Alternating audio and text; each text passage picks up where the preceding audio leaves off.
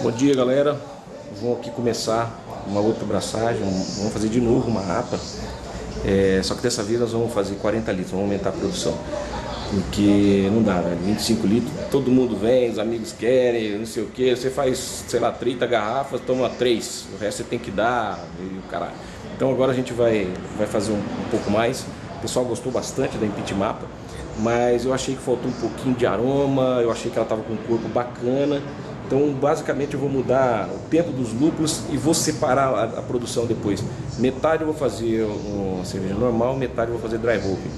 Então, vai ser essa aí a mudança só que eu vou fazer.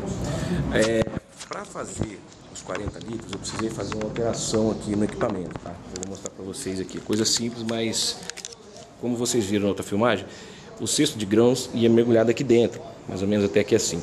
Para os 40 litros, eu vou precisar de praticamente todo o volume da tina para mostura. Então eu fiz uma adaptação com esses parafusinhos aqui, coloquei quatro parafusos e deixei o cesto suspenso, tá? De forma com que ah, não ocupe o volume lá, lá dentro da, da tina de, de mostura, de fervura, vamos dizer assim, mostura e fervura.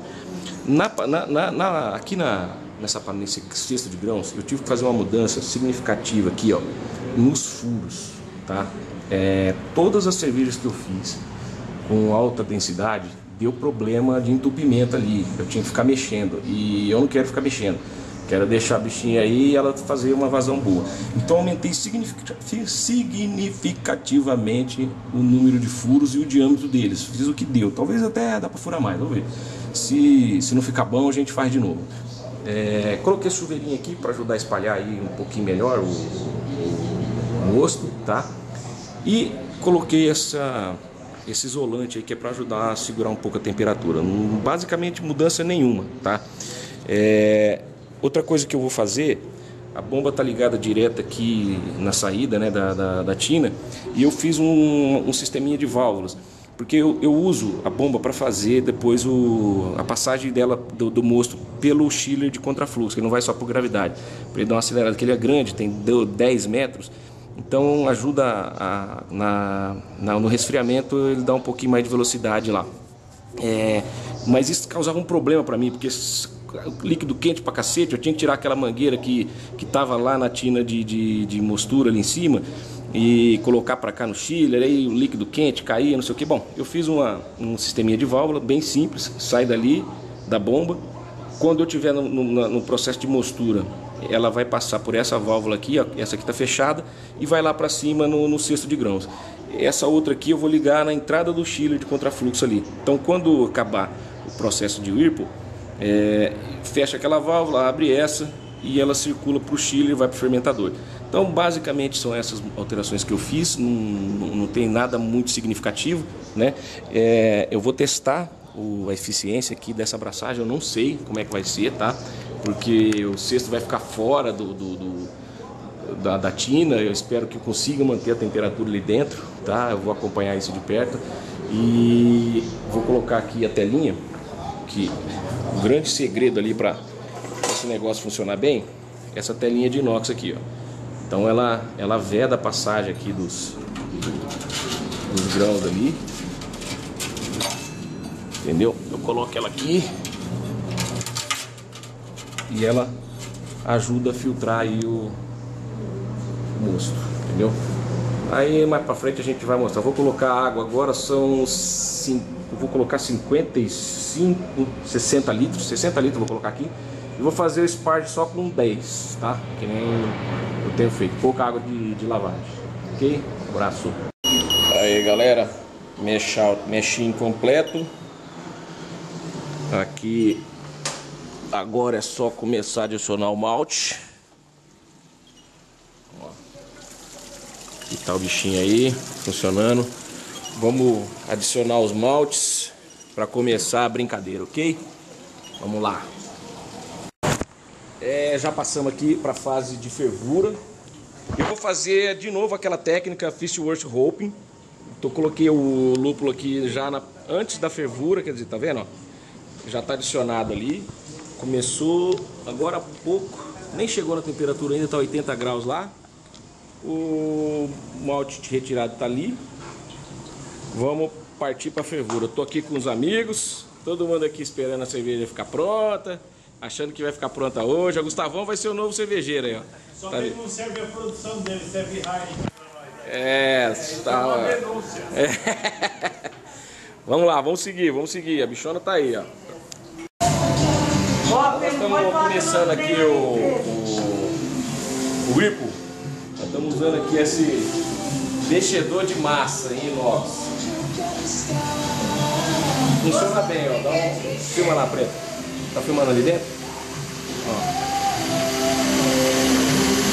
Vai criar um grande vórtice. Vamos ver que, como é que vai ficar o cone de trube ali no final.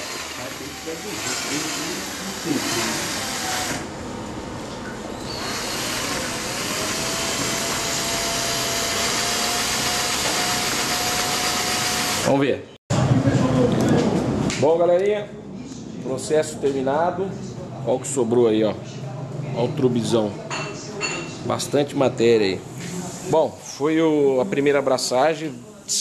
Eu não, eu, eu, o, o, fermentador aqui, ó. Acabou de chegar, meu amigo Valdemir tá me vendendo. Valdemir é foda, Valdemir tá com uma Braumaster 50 litros, velho. Então o cara tá no outro nível. Aí ele pegou um fermentador maior, tá me passando esse aqui. Tô lá dando uma iradinha no mosto para inocular levedura. É, deve ter dado aí uns 41, 42 litros. Eu tinha feito uma receita para 45, eu tenho umas perdas no processo. O chiller eu mudi, o chiller funcionou bem pra caramba. É, a água da, da torneira ali tá da rua que eu uso para resfriar tá em torno de 19 graus. Ele baixou para 21 aqui o o mosto de 96 para 21, os 42 litros levou aí 19, 20 minutos, vai. 20 minutos. Então agora eu vou colocar o bicho lá, vou inocular as leveduras e colocar lá na nossa geladeirinha aí para ela é, fermentar. Tá bom? Vamos ver como é que vai ficar essa rapa. Galera, eu tô gravando o vídeo aqui meio de trás para frente. Eu fiz a abraçagem de uma rapa é, uns 10 dias atrás. É, eu tinha feito uma já e essa aqui é a segunda. Eu estou buscando uma cerveja que seja uma cerveja para tomar no dia a dia, né? E a Impitimapa ficou bem gostosa, tá? mas eu achei que depois eu já, já falei isso no dia da abraçagem, só faltou um pouquinho de aroma. Então eu resolvi fazer é, uma experiência um pouquinho diferente. É, eu vou fazer metade com dry hope, que é o que está aqui, a outra metade eu vou deixar normal. Então, hoje eu estou fazendo o, a transferência, porque eu já coloquei para fazer dry hope há uns dias atrás, na segunda-feira, dia 6, se não me engano. Hoje é quinta-feira, então já vou transferir de balde e vou, vou usar uma, vou tentar fazer pela primeira vez uma clarificação da cerveja. Vou tentar fazer uma clarificação com gelatina, algo que eu não fiz ainda. Primeiro que eu fiz com bastante turvo. Eu gostei, eu gosto do resultado, mas é, estou experimentando. Vou, vou aprender, são técnicas que eu, não, não, domino, então estou lendo, vendo como é que faz e vou tentar. Se ficar bacana, eu repito. Se não ficar bacana, se eu gostar do outro jeito, eu vou parar. Mas o meu interesse é, é, é descobrir uma cerveja assim, é fazer uma cerveja que eu possa tomar no dia a dia, que eu curta, que meus amigos curtam. E paralelamente. Depois a gente vai fazendo aquelas mais especiais, umas IPA, já tem uma Imperial Stout que está é, decantando aqui na garrafa, fermentando na garrafa, já está engarrafada aí, vamos ver como é que vai ficar. Mas eu, em princípio eu quero é, é, é, criar uma cerveja que eu possa tomar no dia a dia, né? Uma cerveja que para não ter que comprar umas lagerzinhas da vida aí, Serra da vida, vou fazer a nossa cerveja aqui do nosso cantinho, cerveja que tem a nossa cara e eu estou buscando ela. Então essa aqui é uma, mais uma tentativa, né? Dessa vez eu só não fiquei feliz com o malte porque é, eu sempre estou usando o, o e não tem aqui em São Paulo, acabou, rapaz. Os caras não estão trazendo mais, então estou usando da Castle aí, Castle Malte. Não gostei muito não. Vamos ver como é que vai ficar aqui. Na abraçagem achei que ele ficou com muita impureza, bem diferente do, do da Muntos. Mas vamos ver, vamos ver como é que vai ficar o resultado. Então hoje eu vou fazer a transferência né, do, do balde aí que está no dry hope vou fazer, já vou levar lá para ficar zero graus. Eu tive que colocar aqui dentro de casa, cara, porque a temperatura não sobe, velho. Aí aqui ficou aí, eu consegui trazer por 20 graus, mas esse dia tá tão frio aqui que lá fora, na, na, na minha geladeira, lá na cervejeira, a, a cerveja não, não, descia, não subia de temperatura, não, não, passava de 18 graus, 17 graus. Então eu trouxe para cá para ver se pegava um pouquinho mais de temperatura e agora eu vou tirar, vou fazer a transferência aí pro, pro balde, levar lá para fazer um cold break e depois tra tratar com a gelatina no domingo, provavelmente isso nós vamos fazer, e engarrafar na terça-feira, ok? Um abraço.